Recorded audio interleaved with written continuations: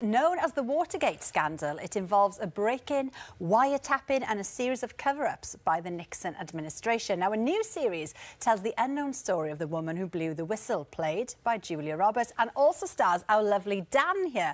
Now, this is an extraordinary story, Dan. It is. The series you're doing, what's the take then on it? Well, what you've got is a criminal for a leader who is you know, wrapped in a messy war, embroiled in a stupid scandal, and surrounded by ambitious idiots, um, and really should resign. And um, no, I'm sorry, that's the intro to Boris Johnson. I've just said, I've just said the intro to Boris Johnson. I'm so sorry.